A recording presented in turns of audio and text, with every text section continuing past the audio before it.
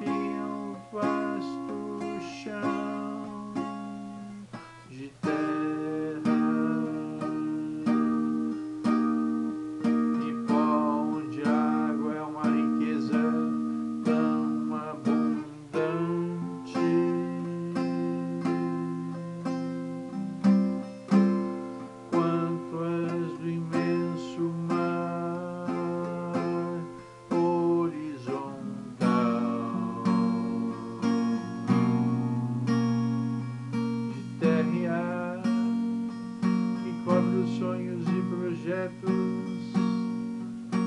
do habitante deste lugar cerrado.